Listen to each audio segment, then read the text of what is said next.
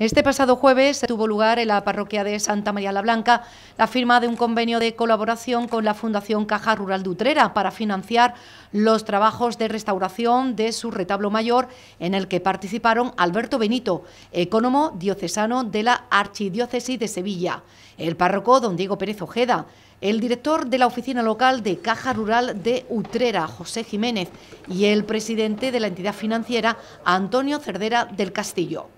El párroco de Santa María la Blanca, don Diego Pérez Ojeda, abrió el acto y destacó que se trata de una actuación centrada en la obra de mayor mérito artístico de la parroquia, cuya intervención cuenta también con la colaboración económica del Ayuntamiento de los Palacios y Villafranca, a quien el párroco agradeció su implicación. El sacerdote agradeció también al presidente de la Fundación Caja Rural Dutrera que la entidad participe con una colaboración tan importante.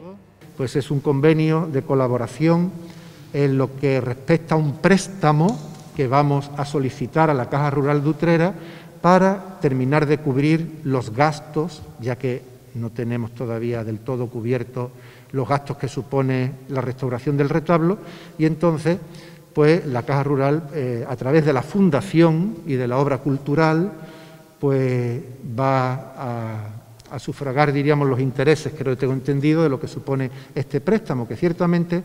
no es eh, ni en mucho tiempo ni de una cuantía muy astronómica, diríamos, pero que sí nos hace falta y que gracias a esta colaboración pues,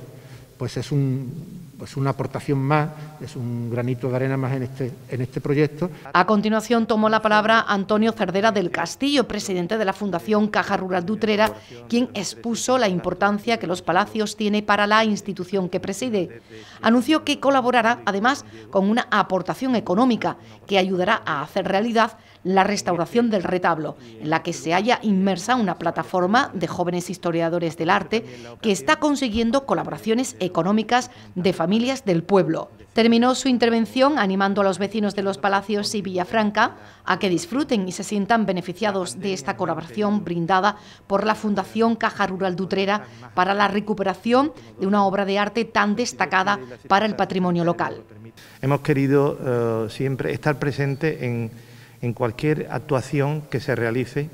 no solamente desde el punto de vista patrimonial, sino también desde el punto de vista cultural y social en, el pueblo de, los Palacios de Villafranca y sus pedanías. Nosotros tenemos esa ilusión de que la Fundación pueda trabajar eh, no solo en, este acto de, de convenio de colaboración, de los intereses y cuántos gastos lleve consigo este, este, préstamo, sino desde que nos lo dijo, como digo, don Diego, mm, nosotros hemos querido manifestarle que no solamente vamos a estar en esto, sino que vamos a estar prestando ayudas aparte, más importante, para sufragar también gastos de restauración del retablo, en función de cómo vayamos viendo. Yo ya le he prometido, eh, él está aquí y lo digo ante todos los medios, que vamos a tener una ayuda antes de final de año y otra el año que viene, si Dios quiere Cerró el acto el economo de la Archidiócesis de Sevilla, Alberto Benito, congratulándose de la buena noticia que constituye la firma de este convenio, que permitirá que la parroquia de los Palacios y Villafranca rehabilite un retablo de tanto sentido y un valor tan determinante como este. Es una buena noticia que, en los tiempos que corren eh, esta parroquia se pueda comprometer a hacer la rehabilitación de, un retablo de tanto sentido y de, tanto valor para, el pueblo, para la gente de, los palacios. Y yo creo que esto además es también un poco la misión que tiene la Iglesia. La Iglesia tiene eh, obras de arte no para conservarlas en un museo bajo llave, sino para que los disfrute la gente, porque el, arte en la Iglesia es una forma también de, de catequizar. Entonces, bueno, que podamos ahora dar este paso y que la parroquia haga este esfuerzo, yo creo que es para que sea es una enhorabuena para, para todos los que la gente de, los palacios y para todos los que estamos